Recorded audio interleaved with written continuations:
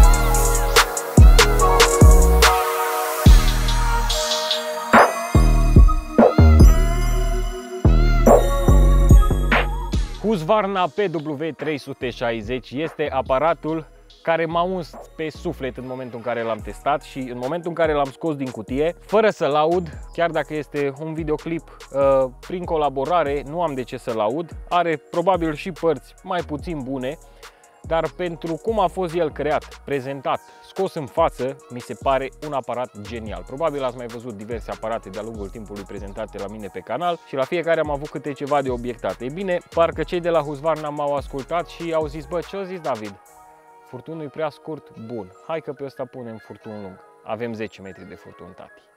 Punem aparatul în față la 2 metri de mașină și ți ajunge să te învârți de jur împrejur fără să-i modifici poziția. Nota 10 din start. Deci prima specificație v-am și spus așa foarte scurt. Furtunul 10 metri rezistent poate să transporte apă cu o temperatură maximă de 40 de grade această pompă, deci se poate folosi și cu apă caldă dacă vreți. Este pe tambur, frumos, pe rolă, are aici un ghidaj ca să nu se așeze aiuria, după cum se poate observa. El se așează simplu, frumos aici pe rolă și mi se pare super tare foarte multe elemente din plastic, aluminiu, alamă pe acest aparat de spălat cu presiune Husqvarna PW360. Am și două accesorii aici pe care le-am și testat. Unul nu-mi place, unul îmi place, dar vorbim despre ele când ajungem acolo. Până atunci, haideți să vorbim puțin de acest aparat. Deci Husqvarna nu are aparate de spălat profesionale, ele sunt dedicate către zona de casă, către zona de gospodărie, Bineînțeles că fiecare om acasă ar trebui să aibă un aparat din acesta cu presiune pe care să-l folosească atât la spălat auto, bineînțeles, cât și la diverse, curățat garduri, porți, alei, știu eu mai ce, casa în unele cazuri, acoperișul de la casă poți să-l cureți cu un asemenea aparat. Deci este foarte, foarte util. Acesta nu este nici cel mai puternic, dar nici cel mai slab de la Husqvarna. PW360 este un aparat ce dezvoltă 160 de bar presiune maximă, 2300 de vas puterea motorului, deci este puternic. Furtun 10 metri, cablu de alimentare 5 metri pentru o mobilitate deosebită. Zona de depozitare foarte bine gândită, inclusiv acest mâner are un buton pe lateral, probabil ați văzut deja în intro, are un buton pe lateral prin care putem să îl, îl colisăm și la depozitare el o să se facă așa mic. Din această poziție n-am putut să-l apăs chiar drept, dar este foarte, foarte bine gândit acest aparat. Îmi place la nebunie îmi place aparatul, fără să exagerez cu absolut nimic. Probabil cei care îl aveți puteți să-mi confirmați asta jos în secțiunea de comentarii. Este foarte simplu de folosit, are un singur buton aici, 0 și 1, care este frumos, îmbrăcat în silicon și în același timp nu permite apei să intre în interior. Aparatul are o clasă de protecție IPX5, deci chiar dacă ajunge apa pe el, nu o să se întâmple aproape nimic cu el. În partea de jos avem conexiunea furtunului de alimentare, această mufă pe care o primiți în set și o conectați aici și foarte interesant făcut de Husqvarna, filtrul este în interiorul mufei, în interiorul tubului, deci la nevoie va trebui să-l scoateți afară și să-l verificați, să-l curățați ca aparatul să se poată alimenta corect. Ce putem observa în schimb la acest aparat este faptul că toate accesoriile au locul lor foarte bine definit pe aparat. Deci nu trebuie să lăsăm, nu știu, diuza numărul 2 sau diuza rotativă să o lăsăm pe geam lângă casă și lancea lângă aparat. Fiecare are locul ei aici, după cum se poate observa și din partea din față. Avem lancea principală ce se conectează pe pistol. Aici o să vină conectate majoritatea accesorilor printr-un sistem rapid al celor de la Husqvarna. Fiecare diuză are un umăr aici și o împingem pur și simplu în aparat. Și a face click și în acest moment se poate folosi. Apăsăm pe partea galbenă, portocalie, de fapt, tragem și se eliberează. Foarte, foarte ușor de folosit. Plasticul mi se pare că arată foarte bine și că este rezistent. Vă ziceam că fiecare are locul ei aici în spate. O să și întorc aparatul acum să-l vedeți. Avem un mâner și aici pentru transport. Cablul de alimentare foarte bine poziționat aici. Eu nu l-am desfăcut de tot, dar vedeți că are inclusiv loc special unde să depozităm ștecherul aici și stă foarte bine. În partea din spate treaba arată ceva de genul acesta. Avem loc pentru această diuză de spumare cu rezervorul, bineînțeles, rezervor de 0,5 litri, încă două diuze, cea clasică populară pentru care putem să reglăm dimensiunea jetului, se rotește stânga-dreapta și reglăm lățimea jetului și implicit și puterea lui. Dacă este spre plus, o să aibă și presiunea maximă. Mânerul aici, foarte bine poziționat. Aici are un loc special pe care putem să călcăm cu piciorul atunci când vrem să-l înclinăm. Punem piciorul aici și ne ajută să-l înclinăm pentru a-l transporta mult mai ușor și bineînțeles un suport pentru pistol. Pistolul care are bineînțeles mufă de conexiune rapidă, în interior un buton de blocare, să nu fie acționat accidental dacă avem copii prin zonă. Aici o zonă rotativă, se rotește 360 de grade, iar aici conexiunea pentru lancia principală. Este un uh, pistol cu un element de silicon în partea din spate și butonul este construit în așa fel încât să nu depui mare efort atunci când îl apeși, adică să nu opună o rezistență foarte mare, să-l ții lejer în mână. Dacă vrei să speli mai mult timp, nu trebuie să-ți amorțească mâna de la faptul că ai ținut butonul foarte mult timp apăsat și de aceea ei l-au construit în așa fel încât să nu depui efort și să nu opună rezistență atunci când îl apeși. Bineînțeles, mânerul de transport care se ridică și iese afară foarte ușor. Acum haideți să vorbim foarte pe scurt despre punerea în funcție a aparatului și ce este important. În pachet o să primiți toate accesoriile pe care le vedeți, le puneți voi pe fiecare la locul lor aici. În spate inclusiv găsim un suport pentru o agrafă din aceasta pe care o folosim ca să curățăm diuza. În cazul în care se înfundă putem să desfundăm diuza fără nicio problemă. Este ca un ac aici, tot din alamă, ce ne ajută să desfundăm diuza, are locul lui predestinat în partea din spate. Deci după ce am făcut toate acestea și ce este important și trebuie să rețineți neapărat despre aceste aparate, faptul că motorul, pompa din interior, își face răcirea pe apă. Așadar, este absolut interzis și nerecomandat să porniți aparatul fără ca el să aibă apă în interior. Practic, care este procedura? După cum puteți observa și în imagini. Conectați furtunul de alimentare cu apă, porniți apa de la robinetul vostru din curte, după care apăsați butonul de pe lancie până ajunge apa în vârful lăncii.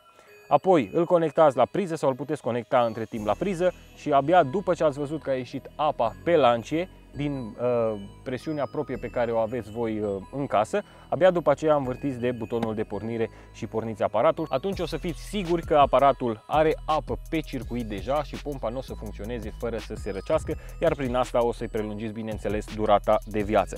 Acesta ar fi primul aspect și cel mai important. După aceea, bineînțeles, la anumite intervale de timp să verificați filtrul din interior, filtrul ce se află chiar aici, sub această mufă. Eu am strâns-o cu mâna, nu trebuie să o strângem foarte tare pentru că are garnitură aici în interior interior. Aici se află filtrul, vă trebuie o agrafă să-l puteți scoate și îl verificați. Dacă este murdar și are foarte multă mizerie, îl scoateți afară, îl curățați și îl introduceți înapoi sau la nevoie, bineînțeles, se poate monta și un filtru adițional dacă nu aveți deja pe instalația de acasă. După ce am făcut pornirea, bineînțeles că putem trece la treabă. Eu am avut o mașină foarte murdară și am început cu lancia principală.